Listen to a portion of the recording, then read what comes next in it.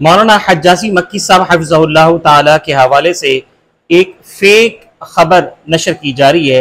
वो खबर ये है कि लोग आम तौर पर कह रहे हैं कि उनका इंतकाल हो गया है। जो कि अब मैं उन्हीं की ज़ुबानी ये आप वीडियो मुलायजा फरमाएँ, उसमें क्या वो बात फरमा रहे हैं? है कि भाई नाजायज़ तौर पर खबर शाये की जाए तो उसका दुख होता है कि भाई ऐसा क्यों किया गया लिहाजा मैं तमाम लाहिकीन हजरात जो हैं, वो इसका नोटिस लें और जिन लोगों ने हरकत की है, उनको पकड़ें और उनसे